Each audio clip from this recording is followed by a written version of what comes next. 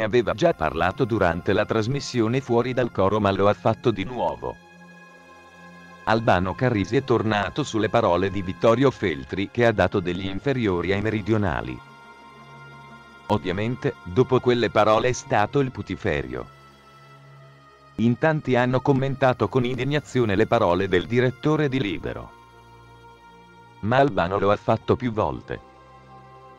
Di recente ospite del nuovo format di YouTube Posso darvi del talk. Condotto dal comico Enzuccio, il cantante è ritornato sul tema feltrie meridionali. E non gliele ha certo mandate a dire anche perché Albano, meridionale doc, è sempre stato, giustamente, fiero delle sue origini.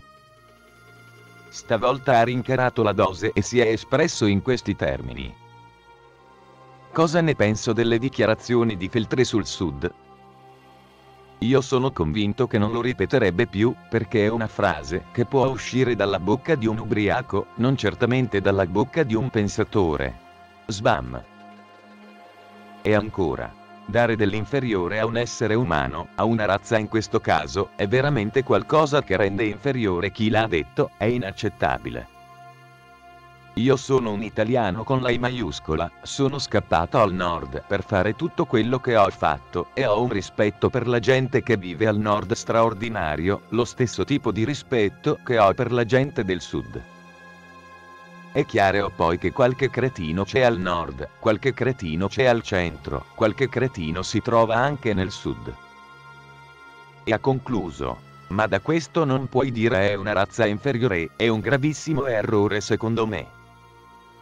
Da inferiori a dire battute del genere. Durante la trasmissione di E parlato anche di altro, per esempio del suo ritorno di fiamma con Loredana Lecciso. È la prima volta che con lei e la famiglia stiamo insieme così tanto tempo, è piacevolissimo, ha detto il cantante della Leciso. Tra i due, in realtà, il fuoco non si è mai completamente spento, ma ora la fiamma è più viva che mai. Sarà forse merito della quarantena? E chi lo sa? Quel che è sicuro è che i due hanno deciso di dare al loro amore un'altra possibilità. In tanti, però, speravano che Albano tornasse con Romina Power. Niente, quella è una cosa impossibile.